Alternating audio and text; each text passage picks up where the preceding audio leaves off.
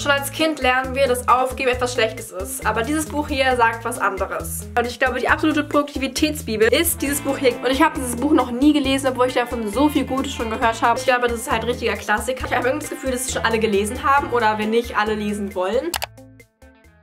Ich habe mir dieses Jahr als Ziel vorgenommen, 21 Bücher zu lesen, wegen 2021, 21 Bücher, versteht ihr?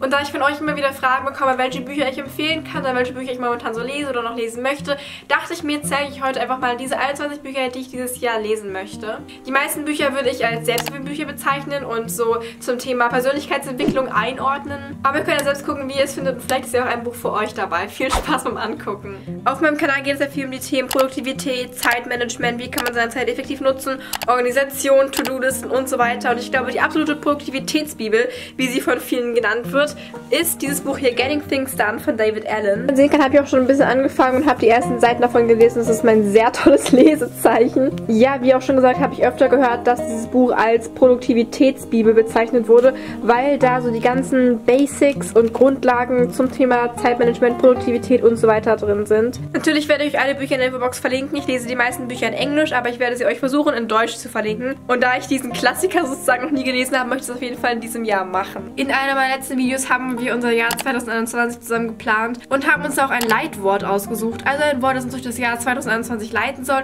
und uns so ein bisschen helfen soll. Und mein Wort war das Simplicity, also Einfachheit. Und um das Thema vereinfachen, effizienter und schlauer arbeiten geht auch dieses Buch hier. Die vier Arbeits Wochen, nee, wie heißt es auf Deutsch? Also auf Deutsch heißt es die 4 Stunden Arbeitswoche, glaube ich. Ich habe das Buch auf Englisch, wie man hier schwer erkennen kann. Es soll einfach darum gehen, wie man seinen Arbeitsalltag besser gestaltet, vor allem, wenn man jetzt ein Team hinter sich hat und das Ganze, ähm, ja, besser und effizienter und vor allem schlauer gestaltet, damit man schafft, die Zeit effizienter zu nutzen, um dementsprechend nicht mehr so viel Zeit mit der Arbeit zu verbringen, dass man mehr Freizeit hat. Übrigens, falls dich die Themen interessieren, über die ich in diesem Video gerade rede, kannst du meinen Kanal sehr gerne abonnieren, denn auf meinem Kanal geht es genau um diese Themen und du wirst jeden Donnerstag und Sonntag ein neues Video hier finden. Okay, kommen wir jetzt zum dritten Buch und ich glaube, noch nie wurde mir ein Buch so oft empfehlen wie dieses Buch. Und zwar ist das The Life-Changing Magic of Tidying Up, beziehungsweise auf Deutsch die Weiß ich gar nicht auf Deutsch. Wie heißt denn das auf Deutsch? Okay, also auf Deutsch heißt das Buch Magic Cleaning, wie richtiges Aufräumen ihr Leben verändert. Und ich habe ja auch schon mehrere Videos zum Thema Ausmisten und Aufräumen gemacht und da wurde mir dieses Buch einfach so oft empfohlen. Und es ist, glaube ich, auch ein ziemlich bekanntes Buch. Ähm, und ich, ich freue mich schon sehr darauf, das bald mal zu lesen. Eat the Frog. Eine Phrase, die du bestimmt schon kennst, falls du meinen Kanal kennst. Da ich diese Methode sehr oft erwähne. Und zwar geht es bei der Eat the Frog Methode darum, das Schlimmste zuerst zu machen. Also sozusagen den Frosch als erstes zu essen und die schlimmste, blödeste Aufgabe an einem Tag zuerst zu machen. Und diese Methode stammt aus dem Buch Eat That Frog von Brian Tracy, wer hätte es gedacht? Und so habe ich immer die deutsche Variante, 21 Wege, um seinen Zauber zu überwinden und in weniger Zeit mehr zu erledigen. Also es geht wieder um Produktivität, würde ich sagen, und um Effizienz und um Time Management wahrscheinlich auch. Ähm, und da gibt es wieder einige oder hoffe ich, einige tolle Methoden, ähm, um seine Zeit ein bisschen effizienter zu nutzen. Im nächsten Buch geht es um Minimalismus. Und zwar um eine ganz bestimmte Art von Minimalismus, und zwar um digitalen Minimalismus. Und so heißt das Buch auch, es heißt Digital Minimalism, also digitaler Minimalismus. Und ich habe mich ja jetzt schon seit ungefähr einem Jahr mit dem Thema beschäftigt, Minimalismus. Und finde das Thema einfach so spannend. Ähm, habe mich aber tatsächlich da nicht so viel mit dem digitalen Minimalismus beschäftigt und freue mich da jetzt sehr, darüber mehr zu lesen in diesem Buch. Vom gleichen Autorin gibt es ein Buch namens Deep Work, also sozusagen tiefe Arbeit, aber das sagt man nicht auf Deutsch. Wie sagt man das? Es geht um fokussierte Arbeit. Ja, es gibt kein deutsches Wort dafür. Ich habe euch ja schon öfter mal in meinen Videos erzählt, dass ich Multitasking schlecht finde und deswegen auch versuche nicht mehr zu multitasken. Und ich habe diesen Ratschlag aus Videos oder Artikeln, die halt genau dieses Buch ähm, ansprechen und über dieses Buch reden. Und das heißt, dieser Ratschlag kommt eigentlich aus diesem Buch Deep Work und ich möchte dieses Buch auf jeden Fall lesen, da ich glaube, dass da sehr hilfreiche Tipps drin sein können zum Thema, wie man fokussierter arbeiten kann. Und deswegen freue ich mich sehr darauf, dieses Buch auf jeden Fall dieses Jahr auch zu lesen. Ich persönlich bin voll eine Person, die versucht immer allen alles recht zu machen und immer versucht von allen gemocht zu werden, da ich auch ein sehr perfektionistischer Mensch bin. Und ich hoffe, dass mir dieses Buch hier, du musst nicht von allen gemocht werden, vielleicht ein bisschen die Augen öffnet oder meinen Blickwinkel vielleicht ein bisschen verändern. Es geht halt darum, nicht von einem gemocht zu werden. Und ich habe von diesem Buch sehr viele verschiedene Rezensionen und Meinungen gehört. Die einen meinten, es war das beste Buch, was sie jemals gelesen haben. Die anderen meinten, es war super, super schlecht. Deswegen bin ich sehr gespannt, äh, wie ich das Ganze empfinden werde. Natürlich könnt ihr aber auch eure Meinungen zu den ganzen Büchern in die Kommentare schreiben, falls ihr davon schon eins gelesen habt. Das würde mich auch sehr interessieren und sehr freuen. Wie man Freunde gewinnt, ist meine absoluten Lieblingsbücher. Und vom gleichen Autoren habe ich noch das Buch Sorge dich nicht, lebe. Die Kunst zu einem von Ängsten und Aufregungen befreiten Leben zu finden. Wie gesagt, das ist eines meiner absoluten Lieblingsbücher, deswegen freue ich mich sehr, von ihm noch mehr zu lesen in diesem etwas dickeren Buch und bin sehr gespannt, was er noch so zu sagen hat. Ich glaube, wir handeln oft aus Gewohnheiten, aus Routinen raus und hinterfragen oft unsere Handlungen gar nicht, ob sie vielleicht falsch sind oder ob wir besser handeln könnten sozusagen.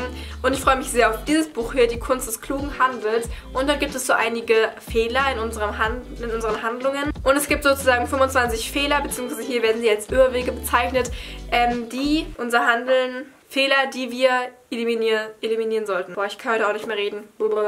Es gibt davon auch noch einen anderen Teil, nämlich die Kunst des klugen Denkens mit Denkfehlern, die wir jeden Tag machen.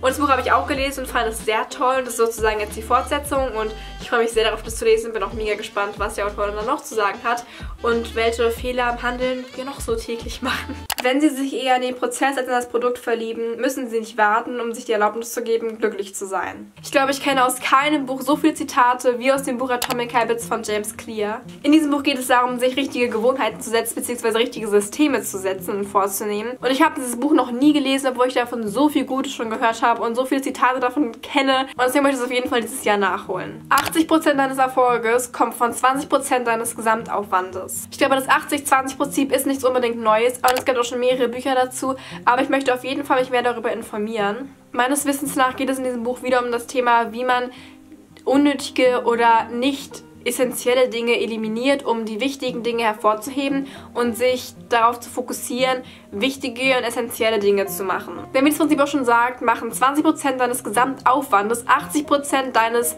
Ergebnisses bzw. deines Erfolges aus. Und das ist halt eigentlich ziemlich krass, wenn man darüber nachdenkt. Schon als Kind lernen wir, dass Aufgeben etwas Schlechtes ist. Aber dieses Buch hier sagt was anderes. In diesem Buch The Dip wird einem beigebracht bzw. wird erklärt, ab wann man aufgeben sollte und wann man weitermachen sollte. Es ist meiner Meinung nach ein ziemlich kurzes Buch. Es hat ungefähr 100 Seiten, also wirklich sehr wenig. Ich denke mal, das kann in einigen Stunden auslesen oder vielleicht sogar in einer Stunde, je nachdem wie schnell man liest. Aber ich bin mega, mega gespannt auf die Aussagen dahinter, weil mich das Thema Aufgeben eigentlich noch nie so krass irgendwie... Ähm, also ich habe dazu noch nicht so viel gelesen oder gehört oder gelernt. Ähm, deswegen ist es eigentlich ein ganz neues Thema, was aber eigentlich ziemlich spannend ist. Deswegen bin ich sehr gespannt und freue mich auch sehr auf dieses Buch. Übrigens, falls dir das Video bis hierhin gefällt, kannst du mir sehr gerne einen Daumen nach oben geben oder auch den Kanal abonnieren für mehr Videos dieser Art, denn ich lade jeden Donnerstag und Sonntag ein neues Video hoch zu genau diesen Themen, die ich auch in diesem Video angesprochen habe. Ansonsten kannst du auch das Video mit deinen Freunden teilen. Ich glaube, das wäre auch ziemlich cool. Dann könnte ich vielleicht so eine Lese-Challenge machen und euch gegenseitig ein bisschen challengen oder vielleicht auch gegenseitig Buchtipps geben. Aber jetzt mal weiter mit dem Video. Das waren jetzt so die Selbsthilfebücher zu dem Thema Persönlichkeitsentwicklung, aber ich habe noch einige andere Bücher, beispielsweise zum Thema ähm, Umweltschutz, Spiritualität, Buddhismus, ähm, ja, Philosophie. Und ich werde euch die dann mal ganz kurz jetzt im Schnelldurchlauf kurz äh, zeigen. Das erste Buch ist das Buch Der Alchemist und ich glaube, das ist halt richtiger Klassiker, beziehungsweise ich glaube, ich habe irgendwie das Gefühl, dass es schon alle gelesen haben oder wenn nicht, alle lesen wollen.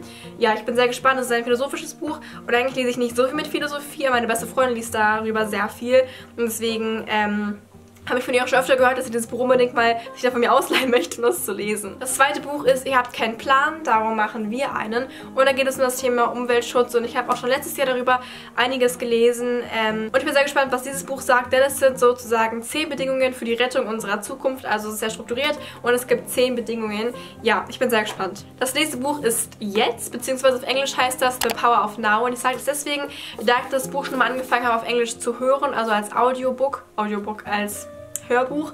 Ähm, aber ich fand es irgendwie super schwer, sich anzuhören, weil ich generell irgendwie in Hörbüchern nicht so gut bin, weil ich schnell vom Kopf her abschalte, wenn ich was anderes nebenbei mache. Aber ich fand die Sprache auch relativ schwer zu verstehen, deswegen dachte ich mir, ich kaufe mir das nochmal als Buch. Ach ja, es geht übrigens um das Thema Achtsamkeit und das Leben im Jetzt. Ja, die Kraft der Gegenwart ist der Untertitel. Ich interessiere mich sehr für den Buddhismus und dachte mir, ich kaufe mir dann noch dieses Buch Buddhismus kurz und bündig, wo nochmal so die Grundprinzipien und äh, Grundpraktiken des Buddhismus oder der Vorstellungen der Philosophie äh, niedergeschrieben wurde und ich bin sehr gespannt darüber dann mehr zu lesen. Als nächstes haben wir das Buch The Universe Has Your Back und es ist ein spirituelles Buch und ich habe es auch schon angefangen zu lesen, wie man hier äh, vielleicht erkennen kann.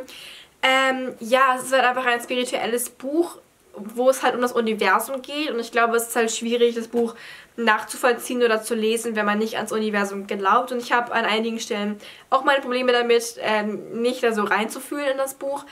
Und äh, dem so ein bisschen zu glauben und es geht halt vor allem viel um Glauben und Vertrauen, weil es geht halt darum, wie man sich immer sicher fühlt und seinem Leben vertraut, beziehungsweise dem Universum vertraut. Aber es ist halt zum Beispiel, wenn man an das Universum nicht glaubt, wenn man ja dem Universum vertrauen soll, wenn man aber an das nicht glaubt, dann ist es halt so ein bisschen so ein, so ein Paradox, deswegen. Dann haben wir noch dieses Buch hier zum Thema Marketing. Ich glaube, es geht darum, also ich kenne es natürlich noch nicht, aber soweit ich weiß, geht es darum, wie man Sachen richtig vermarktet. Und ich habe diese Buchempfehlung aus einer Podcast-Folge mal gehört und habe mir sie dem aufgeschrieben, möchte das Buch eigentlich seit einem Jahr oder so lesen. Okay, nicht ganz seit einem Jahr, aber seit längerer Zeit schon lesen. Und jetzt habe ich das endlich und ähm, ja, bin sehr gespannt auf das Buch. Das allerletzte Buch ist das Buch Everything is Figureable. Und soweit ich weiß, geht es in diesem Buch darum, wie man mit Rückschlägen zurechtkommt, wie man gute Gewohnheiten aufbaut und wie man ähm, mit Aufgeben und was ist denn anderes für Rückschläge? Für, ähm, hier, was ist denn das Nomen für Verlieren? Verlust. Aber nicht Verlust, sondern man selbst was wie man selbst verliert.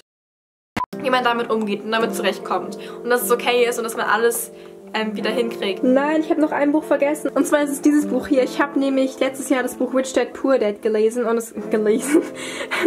und es geht äh, in diesem Buch, und das ist hier so die Vorsetzung davon und es geht da um Finanzen und Wirtschaft. Genau. Falls du dich generell für das Thema Lesen und Bücher interessierst, kannst du sehr gerne meinen Kanal abonnieren für mehr Videos dieser Art. Schreib doch mal sehr gerne ein Buch, was du dieses Jahr lesen möchtest, in die Kommentare und dann können wir uns ein bisschen austauschen und vielleicht finden wir dann noch mehr gute Buchtipps für uns alle in den Kommentaren. Vielen Dank fürs Zugucken. Ich wünsche dir noch einen wunderschönen Tag und hoffe, dass wir uns dann bald wiedersehen. Tschüss.